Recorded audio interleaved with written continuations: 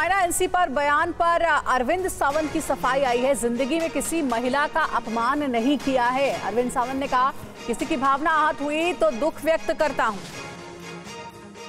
आप सभी जानते हो कि पिछले एक दिन से बड़ा माहौल भारतवर्ष में मचाया जा रहा है कि अरविंद सावंत जी ने किसी महिलाओं का अवमान किया, ज़िंदगी में नहीं किया। पचपन साल राजनीति में हूँ। अगर हुआ तो मैं उल्टा अग्रणी रहा हूँ उनको सम्मानित करने में। उसके मैं उदाहरण बहुत कुछ दे सकता हूँ, कैसे मैं अग्रणी रहा हूँ।